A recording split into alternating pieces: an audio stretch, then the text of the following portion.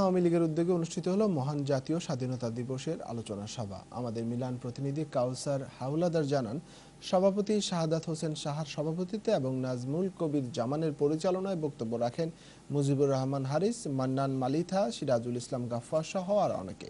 বক্তারা খালেদা জিয়াকে পেট্রোল বোমা হামলায় দায়ী করে জঙ্গি নেতা হিসেবে আখ্যায়িত করেন এবং বলেন, এখনও সময় আছে, সাবধান হন।